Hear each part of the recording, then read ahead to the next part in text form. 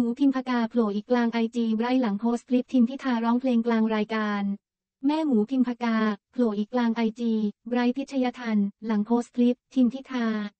ดีดกีตาร์โชว์ร้องเพลงกลางรายการ เรียกได้ว่ากระแสตอนนี้มาแรงไม่แพ้ซุปตาสำหรับทิมพิธาลิ้มเจริญรัตหัวหน้าพักก้าวไกล ได้คะแนนเสียงจากประชาชนถึง 14 ล้าน ซึ่งตอนนี้ต้องบอกเลยว่าถูกจับตามองเป็นพิเศษไม่ว่าจะทำอะไร